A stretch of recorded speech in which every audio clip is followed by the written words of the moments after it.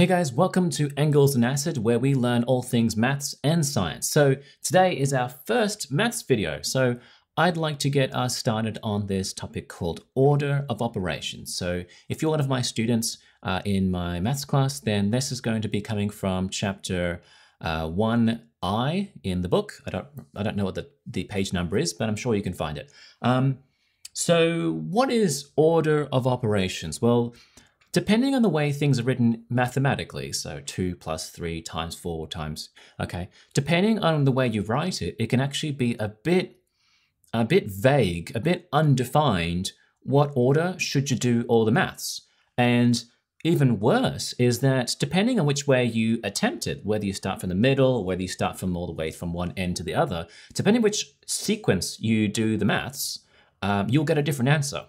And that's no good. You want to make sure that maths if if I give you a, a math problem, I want you to get the same answer as the next person. And same thing, just you know, globally. If if if I got to tell somebody, uh, you know, an equation or some some math problem to somebody somebody who's working in a business uh, to do something for me, I want them to get the right answer. Um, and the way we fix this is that we've all come to an agreement as to what should the sequence be. So what should we start with, and what's the next thing, and what's the next thing. That's what we call the order of operations.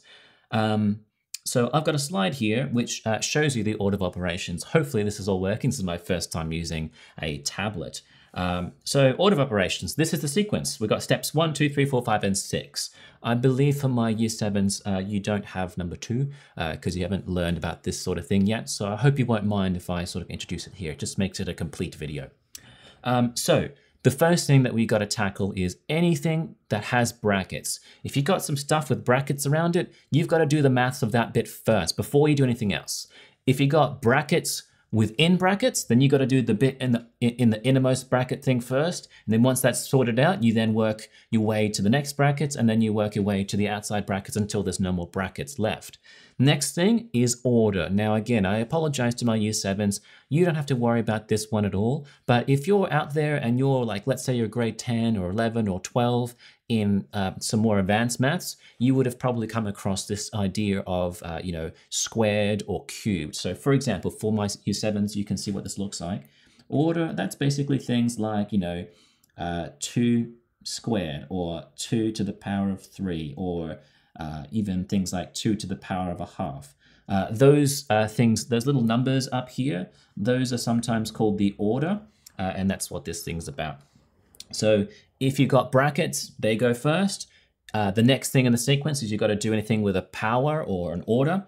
The next thing is multiplication. Then next thing is division. Now, uh, multiplication and division, depending on who your teacher is, they might say division goes first, then multiplication. It doesn't matter.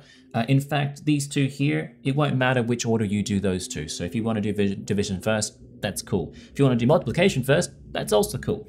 Next thing comes addition and subtraction, and the same thing applies here. Addition and subtraction, it won't matter which way around you do them. So if you want to do subtraction first, then your addition, doesn't matter. What's more important is that you start with brackets, then you do order, then you do multiplication or division, and then you do uh, addition or subtraction. Now you go, how am I going to remember that? Well, uh, uh, perhaps an easy way of thinking about it is uh, go inside to the outside, which is like inside brackets, and then you work your way outwards. I find, I think you do that at a dinner table. Is that right?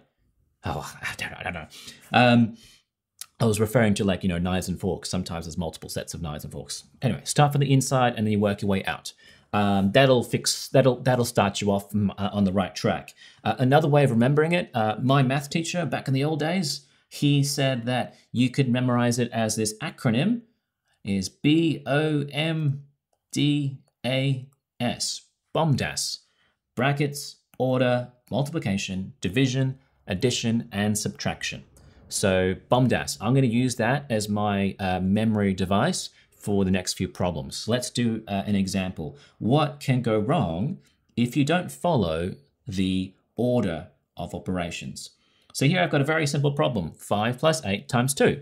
Now, depending which way you do this, you'll get two different answers. So I'm going to show you uh, the first one. So if I do addition first, so that means that if I try and start with that plus, so I'm just going to I'm just to copy the question. So 5 plus 8 times 2. So if I start with the addition first, that means that 5 plus 8, well, that's got to be uh, 13. So I got 13 times 2. 13 times 2, well, 2 times 2 times 3, well, that's going to give me 6. 2 times 1, that's going to give me 2. So I got an answer of 26. Okay. What if I uh, do the problem, but I start with the multiplication first? So again, I'm going to try it this side to, to show the comparison. So I'm just going to copy the question. 5 plus 8 times 2. So if I start with multiplication first, then 8 times 2, well, that's going to be 16. Um, and the 5 is here. Uh, 5 plus 16, uh, that gives me uh, 21. Can you see how 26 or 21? I've got two different answers. Which one's correct? Well, we've got to do this again, but we've got to do it with the order of operations. We should do it the right way around. And if you remember the rule, which is BOMDAS, so B-O-M-D-A-S, you start with brackets. Do we have any brackets in this problem? No, we don't. Do we have any, uh, you know, the power of something? Uh, no, so there's no orders. Do we have multiplication? Yes, we do. In fact, I actually did the problem following BOMDAS in the second example here. So I did the multiplication first, then I looked for division. There's no dividing signs happening here, so I can move on to the next sequence, which is then you do addition. So I had I had um, this plus sign over there, and then uh, any subtraction, well, there wasn't anything left to do. So 21 is the true answer. Let's do uh, a little bit more complicated problem. So I'm going to put this one away and do the second example. This will be the last example for the video. Um, here we go, 14 minus, open bracket, 7 divided by 7 plus 1, close bracket, times 2. That looks like a lot of work. Let's break it down. So I'm going to do this problem the right way, which is going to be using the BOMDAS or the order of operations. So I, I, I, like to sort of write down the rule when I'm doing my, uh, my, my working, just so that um, uh, I can communicate to my teacher or whoever's grading my assignment or exam. I can show that, yeah, I know the rule and now I'm going to use it. And if I make a stupid little mistake, then the teacher goes, oh, yeah, well, he kind of like forgot how to add this number together, but at least knows the rule of BOMDAS. So, yeah, you know, that sort of thing. So I'm going to write down my rule, B-O-M-D-A-S. So I'm also going to copy down the question again. So 14 minus, open bracket, 7 divided by 7 plus 1, close bracket, times 2. So what do we start with first? Well, B. B stands for brackets. So we've got to deal with this whole middle section first. We're good? So um, to do with that, I've got to do, I've got to figure out what what within my brackets should I do first? Do I do the dividing sign or do I do the plus sign? So what does the rule tell me? So within the bracket, I sort of go through the order of operations one more time. So, so I'm now just focusing my attention on the inside here. Do I have any more brackets? No. Do I have any orders? No. Do I have any multiplication? No. Do I have any division? Yes, I actually do. So I should do the 7 divided by 7. I should do that thing first. So let's do that. So my new line here, 14 minus, open bracket, 7 divided by 7 that's going to be 1. 7 divided by itself, yeah, it's just going to be 1. So 1, and then that uh, whatever's left in the brackets still. So, oh, oh sorry, my bad. Uh, what am I going to do? File, edit, undo. sorry about that. I haven't configured my pen to do an undo command. Um, yep, so I'm just going to have 1 plus 1. Does that make sense, guys? So I did the 7 divided by itself, that becomes 1. And that other one that was still up in the brackets is also carried down and I'm going to have the times 2. So what happens now? Well, I go through the BOMDAS rule again. So brackets first, then, or, well, I still have my brackets. I still got 1 plus 1, so let's do that first. So 14 minus 1 plus 1, it's going to be 2. So I can, I can put 2. Now, since I've reduced all the bracket stuff down to a single number, I can throw away the brackets now. So that's why they've disappeared.